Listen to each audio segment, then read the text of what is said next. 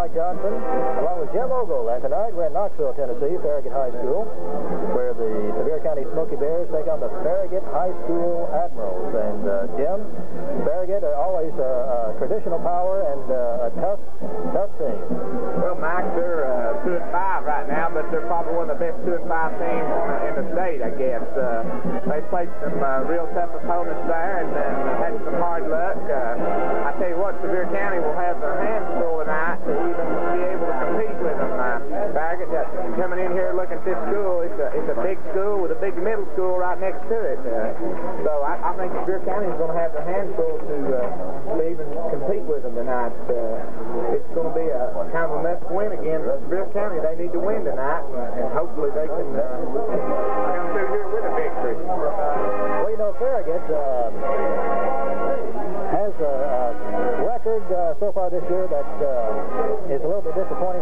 two and five. Now the teams they have defeated, uh, Bearden High School and McGavock. They, they lost to Austin East. They lost to Clinton, Doyle, Oak Ridge, and Carter. But Jim, when you look at the teams they lost, teams like Carter and Doyle and uh, the Austin East Roadrunners, uh, every team they've lost to is really an outstanding team. Mike, those teams will probably stay out, uh, stay play off bounds. So that uh, kind of tells you what kind of schedule they played. Uh, they're just a good, tough team. Uh, they played a good, tough Austin East team, which I think can beat most triple or uh, triple A teams there. So uh, I tell you what, they played a tough schedule.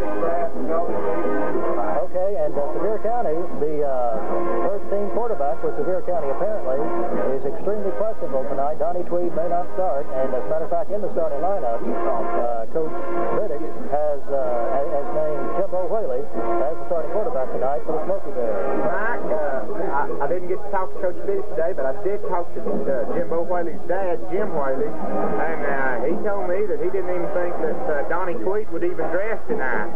So they're going with Jimbo, it looks like, and I think they've got Alan Lloyd in case, or Alan Lloyd in case something uh, was to happen to Jimbo, and he's not had any really any experience at all. So uh, Sevier County hurting tonight here at quarterback.